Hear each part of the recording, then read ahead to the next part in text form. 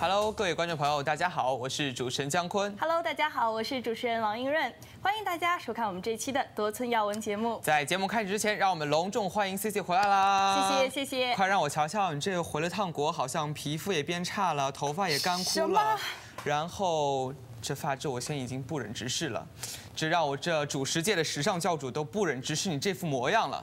看来肯定是北方的大规模的雾霾天气惹的祸，这真是几天不见如隔三秋，这脸上都千沟万壑，多少条褶子了。哎，人家这回来都说点吉利话，你说我这刚回来你就损我，就黑我，这真是太不地道了。这不是太久没毒舌了吗？难得说两句。你说说，不过呀，这被网友吐槽的生化危机啊，雾霾我倒是没见到，但是啊，这一上网就看到这劈天盖地的消息。据报道啊，说这眼下频频发生的雾霾天气，就是这元凶之一的 PM 二点五闹的。PM 二点五嘛，现在啊正在征集中文名呢。好家伙，这影响力可大着呢！坊间传闻说啊，因为这大雾，清华都改校训了，你听没听说过呀？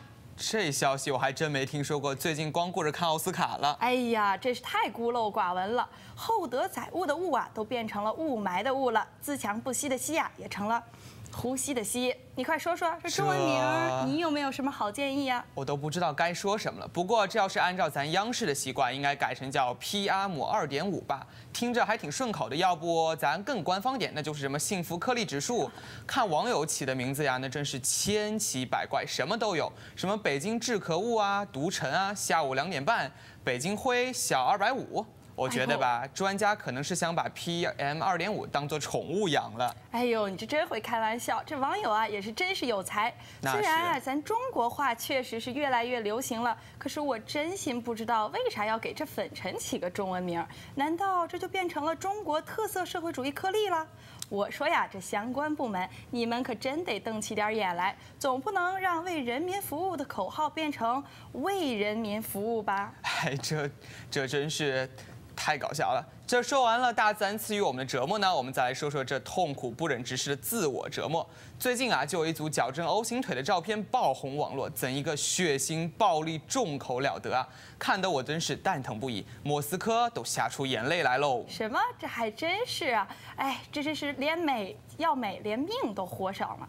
看啊，让我们来看一看这个照片儿。这个姑娘啊，为了矫正 O 型腿做了个手术，每天呢拿着扳手把钉子钉在这个骨头里头，这个螺丝啊每天还得转它三圈儿，每次里扭七毫米天哪，这是变形金刚吗？怎么看起来这么恐怖？真是还左三圈右三圈呢！而且啊，这三个月之后再把这骨头和肉长在一起的钉子拔出来。我的老天啊，这还真是把自己当做多功能电源插板了，想插就插，想拔就拔。好吧，哎，你们女人这爱美的天性啊，真是，我都不知道该说什么了。这可真是见证了彪悍的人生，不需要解释。呃，女人嘛，我看啊，这堪比渣滓洞的酷刑了，当真是现代版的刘胡兰。你们这些男人啊，也就是表面假强悍。毛主席说得好啊，都是纸老虎。快看看这些玲珑剔透心的女人们，虽然外表很柔弱，可是啊，小主们为了美，可是能上天，能入地，能瘦成针鼻儿，也能瘦成金针菇的铁娘子，真是厉害呀！这才是能屈能伸，宇宙超级无敌美少女，纯爷们儿。看来真是这纯爷们儿都要抢占世界半边天了。好吧，好吧，真是服了你们这些花钱找罪受的小主们。阿弥陀佛，在这个折磨法真是让人操老多心了，可让我们情何以堪呀？好吧，说完了这自我折磨，咱再来说一说这备备受压迫的群体。哎，那咱这今天的话题可都是被虐呀！我怎么觉得咱这节目越来越重口味了呢？这才是当今最流行的话题嘛。来看一看你这思想极端不纯洁，让我来教育教育你。别装了，老大，大家都是现代智人，半斤八两，好不好？这闲话不多说，这让我们啊，下面这条新闻，其实呢，就是浙江最近啊有一个走红的新闻，一个领导啊动用下面的九名下属，九名哦，为他的宝贝女儿做作业的这么一则新闻。哎，等等等，这这信息量还真大，容我消化一下啊。这领导怎么样让他的下属帮自己的女儿做作业？哎，你先慢慢琢磨着，让我啊先跟观众朋友们介绍一下情况，再听听啊你边喷边消化。又有我机会去毒舌的了。说的对，这就是啊，浙江某单位的员工啊，在网上抱怨说，这领导上班第一天，居然啊要帮领导的女儿做寒假作业。以前也就是什么小学的奥数题呀，做个小模型啊，两个人啊加个班儿也就能搞定了。这次啊，这九名员工可是都分了工了。一个人拍照，一个人写作业，一个人呐制作视频，还有一个负责宣传。哎，五个人啊，每个人都面面俱到，都有分工。其中啊，还有一个统筹，还有司机可以协调外出取景。哇塞，这个团队真是太专业了，有没有？都可以直接去赶上一个咱电视台的团队了。就是啊，这九个人啊，熬了两天两夜才给完工哦。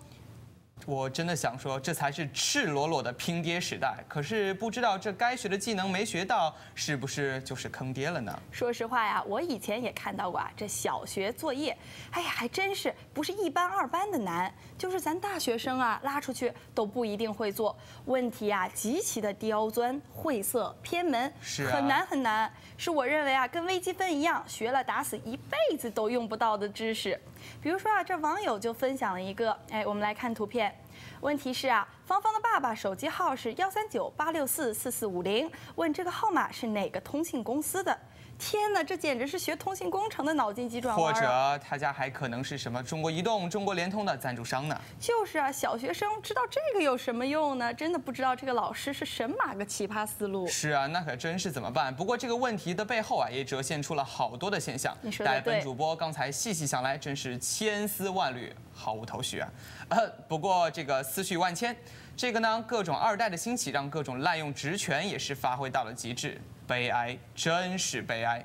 这沉重的升学压力和复杂的厚黑环境，让我们祖国的小花朵们在狂风暴雨中努力地坚挺着，就是不知道他们以后用这稚嫩的空心小树枝，怎么样挑起我们天朝的脊梁呢？